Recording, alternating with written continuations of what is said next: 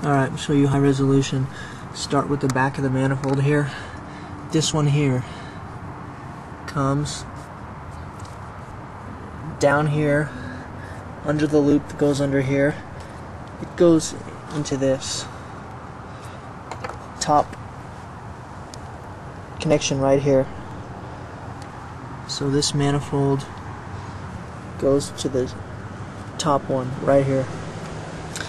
Then you got your thick one underneath, your thick vacuum hose, which comes into the second hard line right here, thick vacuum hose. Then you got the other two with the pipe here. The second to last one, this one, goes down into here.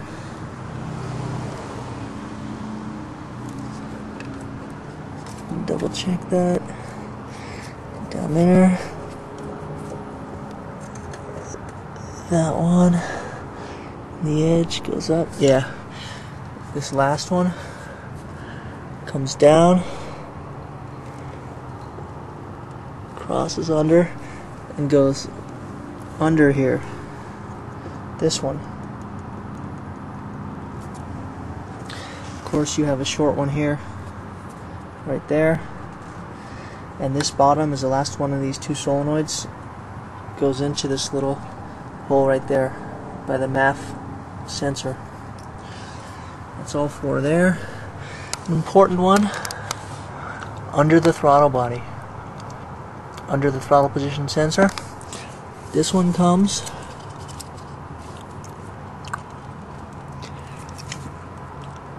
Hmm.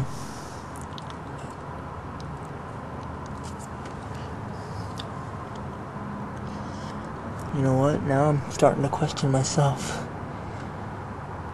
starting to forget where these went. You know, I might have this one wrong myself. Anyway, you have a vacuum down here into the throttle body, and I thought it went here, but it's going down here. So I gotta look at some pictures myself and make sure. There was one that just looped right back around and in, and I could actually have these wrong. So I guess this video doesn't mean much then. The top is easy. Two short vacuum hoses. Of course you have your water overflow, that doesn't really matter. It Goes into the bottom of your tank. Then you have your thick hose which came out of the thick pipe which goes right to this sensor fitting there. And you have the one next to it this one which comes in middle. It goes to the top part of that solenoid the top one. Is this lower one here. Swing around.